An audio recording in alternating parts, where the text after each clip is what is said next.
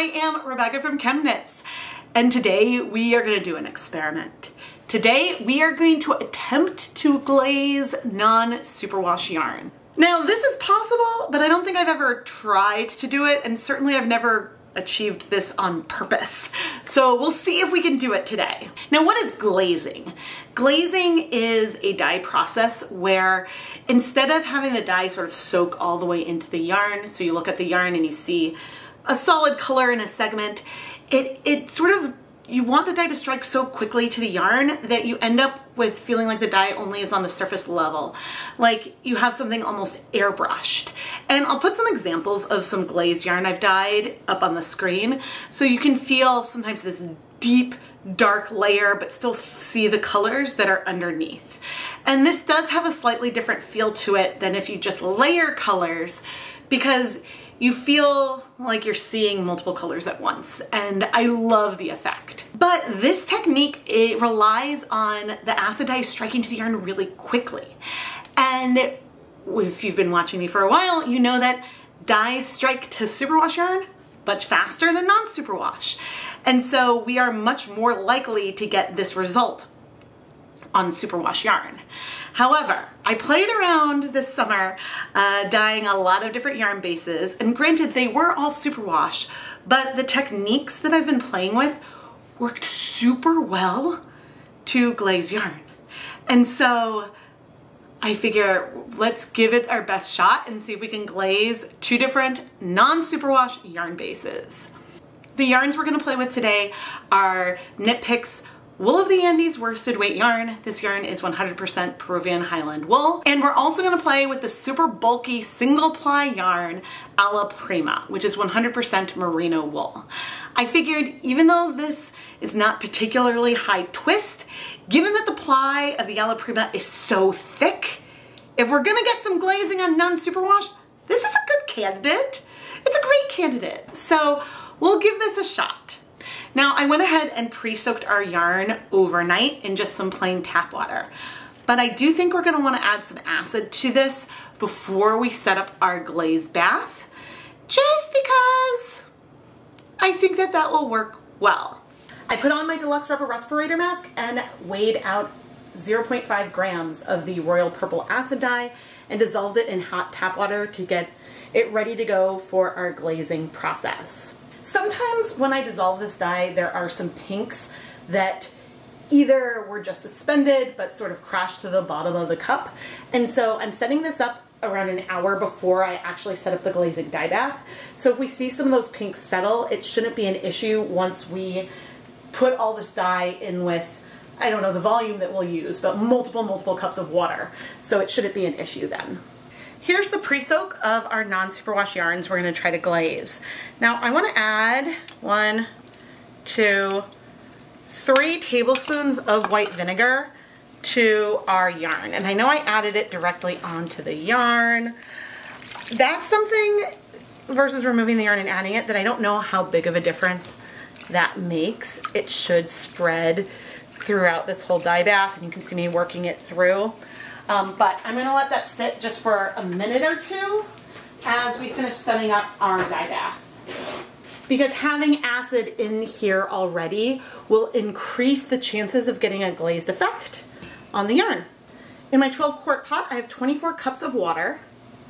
Now, when I did some of my recent glazing videos, I started with, by accident, 450 milliliters of white vinegar um, which was more than I had intended to use, but I keep using it because it's worked. And we want that higher acid today because, yeah, if something's working. Why shift it? Although I suppose I really should figure out the pH here and then get, figure out how much citric acid powder to use. I think that that would be better. Or just use a bunch of citric acid powder. Um, I just know that citric acid can be harder on some fiber types, so I just don't use it as much, and I'm comfortable with the vinegar. It's just the vinegar can be more expensive, so that's something to keep in mind. I'm gonna stir up this pot. I just added our half of a gram of royal purple dye. And I guess now I need to get our yarn. Rebecca, If you want the dyes to strike to the yarn quickly, why are we setting this up cold? We're setting up our dye bath cold with high acid because I've found that this is a great condition to get a glaze that's a little bit more even all over the skein and it still works really really well on superwash yarn. It's possible that if the dye bath were hot and we added the yarn to it we could get a glazed effect. It's just in my experience it ends up being a little bit patchier and so you might need to go into the dye bath multiple times and I found it trickier to work with. So I like this cold high acid setup but you never know. We're gonna cross fingers. I squeezed out most of the liquid from our yarn, which may give it a little bit of a disservice, but we're gonna go in, put it all in. I'm gonna raise, lower the yarn, and now not touch it. Now immediately, I don't know. if I'm looking at everything, everything feels very purple. But let's go over to the stove. I just turned the stove on high. We want things to heat up and it'll probably take, in my experience, around 30 minutes for this to heat up to get just below a simmer. I will be reducing the heat of the gas stove as time goes on. And then I want things to heat for 30 minutes for that color to set. It may take more time, it may not. I'm a little nervous right now because right now everything's feeling very purple.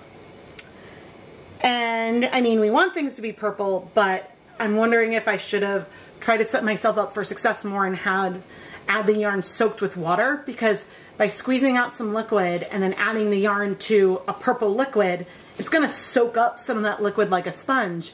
And if the colors aren't gonna strike that fast the outside of the yarn, you know, if it's gonna, if it needs more heat and time, then we may not see as much contrast as we might on something glazed. So I don't know what's gonna happen.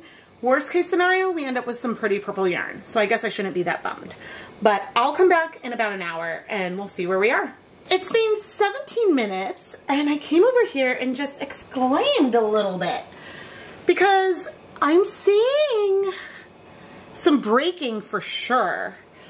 So I don't know if that means we're gonna see glaze. I'm not looking at this and feeling glaze, but we might have some uneven color that is glaze adjacent. So we'll see. It's really hard to not touch the yarn. But I'm not touching the yarn, I'm not stirring it. We're gonna let things keep going. I'm gonna turn off the heat and I don't think we have glazing. I think we may need to try a hot start with this yarn. Um, actually, you know what? It may just be lovely tonal. We'll have to wait for it to dry. I mean, certainly we have lovely, lovely tonal variation in here, more than I normally get with non-superwash yarn. So something with the high acid really helped get a ton of variation, which I love. Now here, with the single ply, we might it's going to be hard if I would call it glazing or call it tonal. We're going to really have to see it dry. I don't feel an airbrush quality, but we certainly have a lot of depth and dimension to the color. So, oh, man, it's hard because it definitely, I would call this more patchy than I would call it glazed. And I don't mean patchy as a bad term. It's just the areas where I feel variation, it feels like it goes deeper within the strand versus just being surface level. But there might be a few areas, like in here, where I almost feel a glaze. Almost. We're gonna let this yarn cool off completely so we can wash it, but at this stage, I think the two things I would try next time would be to start with a hot dye bath, um, and then also not remove all of the liquid from the yarn to sort of dunk it in the water with acid before adding it to the pot, which may be a weird temperature change, but I think if the yarn doesn't soak up as much of that original dye, that could help. There were a couple of areas that almost felt like they could be glazed, but uh, I don't know. you know, I think I still have a skein of yarn a superwash skein of yarn that I glazed with these conditions. And honestly, in that video I had double the amount of dye and double the amount of yarn um, with the same volume. So if I remember, I'll try to compare to that in the end, unless of course that yarn sells soon. Oh wait, I, I actually have one I can grab right now. Here is a glaze that we got with the same proportions of the purple. Uh, and I don't think this is the best light for it. So I'll try to show this again later. But I know this color can work. It's just, I should take the win in that we got so much tonal variation, which is often hard to do on purpose with non-superwash yarn. Um, often the colors end up being fairly even, so I should take that win. All right, I got a little distracted, but I'm back to wash carefully our non-superwash yarn. And I shouldn't be so sad. It's really, really pretty. Uh, you know, it's just not quite the effect that I'm used to getting, which is okay. It's okay to just have pretty purple yarn. Who can be mad at that? But the great news is we are not seeing any color bleeding. Um, so I do want to be very, very careful and very, very gentle with our yarn because we don't want any bleeding to start happening. But I'm going to, or, well, we don't want any felting either. So I am going to be very careful.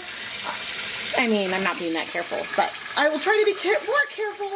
And I'm going to finish rinsing out the soap. Then I'll put the yarn in my spin dryer and hang it up to dry. Here is our non-superwash glazed attempt yarn. And I think it's beautiful. I think that we could be close to something that is glazed, but I don't think we're there. For reference, these are three colors that I glazed um, on the same day I dyed this yarn actually. And so the key feature is that you feel like your colors are airbrushed on. And so while there may be some areas in here that have, I don't think I can pick up on camera. There's some areas where I feel like, okay, things are starting to strike more surface level. But ultimately, I think that enough color went into the yarn that it makes it hard to say. And then in here, uh, if I were to untwist this a little bit, the color went all the way through the single ply yarn versus say this example, which granted is a different super ply yarn, but here the color is all just like at a halo on the outside versus penetrating the fibers a bit more. Here's a skein of 100% superwash merino versus our 100% merino or 100% Peruvian Highland wool. Dyed with the exact same amount of color and proportion of color. And so, I don't know how well you can see or feel the difference here. Certainly there's some patchiness to it, but that is a little bit what glaze is. And so in here you can really see how the color struck the outside of those plies, but not really the center. And so that is that effect that we're going for. And if we have it in here, maybe a tiny bit, we just ultimately don't have the contrast to really feel it because again, the colors sort of went deep a little bit. Now this yarn is stunning and it's funny how this is more grape, this one feels more pink. Uh, that amuses me, but clearly I wouldn't look at this and call glaze, I would call them beautiful tonals. And they are beautiful, beautiful tonals. But we'd have to decide if it's worth trying to up the amount of acid even further because this is the proportion that we use with our other yarn. I did not increase the acid. If we want to increase that acid further to give it another shot, or if maybe glazing is a technique that is just best saved for a superwash yarn. Because some techniques work, I mean, this isn't a high twist yarn either. Some techniques work better on high twist versus low twist. So those are just factors for your dyeing and variables that you need to consider when you want to achieve an effect. So don't despair if something doesn't work. Maybe it's just the yarn base. I mean, in here, it's like we're approaching something that's glazed, but not quite there yet. We're now in October, and if you're starting to think about the holidays, uh, well, I'm here to help. Pre-orders for the 2024 ChemKnits Hanukkah yarn sampler are now available. during the eight nights of Hanukkah, which start on December 25th this year. There will be a new yarn dyeing video every night and a corresponding wrapped mini skein that you can unwrap. It's a great way to treat yourself and make sure you have something to open on all eight nights of Hanukkah. We'll feature eight different dyeing techniques, eight different colorways, plus fun extras. And there are even some other mystery full skein colorways that you can add to your sampler so you get even more packages to open up. You can find more information over in the ChemKnits Creations Etsy shop and I'll have it linked down below. I am Rebecca from ChemKnits, and if you have any suggestions on how I should modify this experiment, please let me know down in the comment section below. I am always happy to take risks and try new things so that way we can all learn together. And so I am more than happy to play around with this some more. I just don't know if, I don't know if it would be worth it, but I'm, again, I'm willing to try if you have an idea or if you have a result that you know works, I'm happy to try to replicate that. And see, that's the reason why you should subscribe to the ChemKnits Tutorials YouTube channel. Because I'm willing to take chances, get messy, make mistakes. Not that I made a mistake here, but I'm willing to try things not knowing how they might turn out, which is a privilege that I have as a video content creator who happens to have an Etsy shop on the side. Even though my Etsy shop is a huge part of my business. Uh, if you want to bring home some hand-dyed yarn, uh, go check out the ChemKnits Creations Etsy shop. But the biggest thing you can do to help support the content and help me continue to make fun videos where I try to push the boundaries of what I can do with color and yarn, the biggest thing you can do is subscribe. Subscribe, turn on notifications, like the video, engage with the videos. That's the biggest way you can help support things. It's funny, because the other thing is, I don't know which color is the best color to use for glazing. Uh, and so I picked the purple because that seemed like it's one that works really well. But that's just another thing to consider is if there's another color that works better for a glaze that I should conceivably try out. Hmm, I'll have to think on it. But anyway, thank you so much for watching.